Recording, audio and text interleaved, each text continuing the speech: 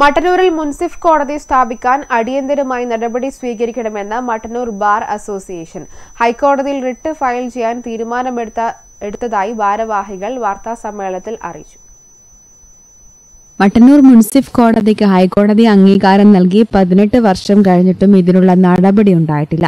കോടതികളുടെ വികസന കാര്യത്തിന് സർക്കാരിന് താൽപര്യമില്ലാത്ത സ്ഥിതിയാണ്. മുൻസിഫ് കോടതി തുടങ്ങണമെന്ന് ആവശ്യപ്പെട്ട് ഹൈക്കോടതിയിൽ റിട്ട് ഫയൽ ചെയ്യുമെന്ന് ബാർ അസോസിയേഷൻ പറഞ്ഞു. മലയോര മേഖലയിലെ വലിയൊരു വിഭാഗം ജനങ്ങൾ ആശ്രയിക്കുന്നത് കൂത്തുപറമ്പ് മുൻസിഫ് കോടതിയാണ്. ഇരിട്ടി താലൂക്കിൽ സിവിൽ തർക്ക പരിഹാരത്തിന് മുൻസിഫ് കോടതികളില്ല. മട്ടന്നൂർ കോടതി കെട്ടിടത്തിന് മുകളിൽ പുതിയ കെട്ടിടം പണിയാനുള്ള നടപടി സ്വീകരിച്ചു വരികയാണ്. പുതിയ കോടതി കെട്ടിടവും ജുഡീഷ്യൽ ക്വാർട്ടേഴ്സും പണിയാനുള്ള സൗകര്യം കോടതി പരിസരത്തുണ്ട്.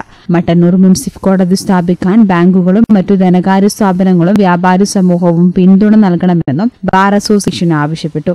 അവസാനമായി ഗവൺമെന്റിന് ആഭ്യന്തര വകുപ്പിന് ഇരുപത്തിയൊന്ന് ആറ് രണ്ടായിരത്തി ഇരുപത്തി ഒന്നിന് മുനിസിപ്പൽ കോടതി ആരംഭിക്കണമെന്ന് ആവശ്യപ്പെട്ടിട്ട് കത്തയച്ചിട്ടുണ്ട്. ഞങ്ങൾ നിസ്സഹായരാണെന്നാണ് അതിൽ വായിക്കാതെ നമുക്ക് മനസ്സിലാക്കാൻ കഴിയാം വായി പറയാതെ പറഞ്ഞു പോകുന്നത് അതാണ്. അതുകൊണ്ട് പിന്നെ ഈ അഭിഭാഷകർ എന്ന് പറയുന്നത് ജനങ്ങളുടെ പ്രതികളാണ്.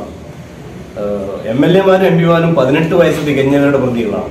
നമ്മളെ സംബന്ധിച്ചുള്ള അഭിഭാഷകർ ഗർഭസ്ഥ ശിശുവിനെ പോലും പ്രതികരിക്കാൻ കഴി അർഹതയുള്ള നിയമത്താൽ അർഹതയുള്ള അവരാണ് അഭിഭാഷകർ അപ്പോൾ ജനങ്ങൾക്ക് വേണ്ടിയാണ് ഈ കോടതി. ആ കോടതി എന്നത് എത്രയും പെട്ടെന്ന് യാഥാർത്ഥ്യമാക്കാൻ പൊതുസമൂഹത്തിന്റെ ഇടയിൽ ഇത് അറിയിക്കാനും അവരുടെ സഹായവും പിന്തുണയും നേടാൻ വേണ്ടിയാണ് നമ്മൾ വാർത്താ സമ്മേളനത്തിൽ Mattannur bar association president C K Lohithakshan secretary K Mithran P V Sheena P M Sreejith എന്നിവർ പങ്കെടുത്തു.